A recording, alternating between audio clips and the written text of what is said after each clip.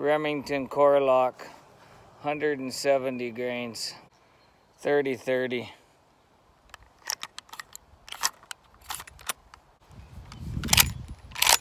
Still targets over here.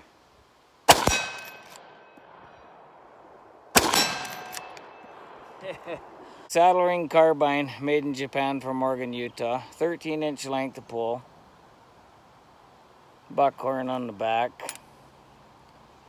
20 inch barrel. Nice saddle ring.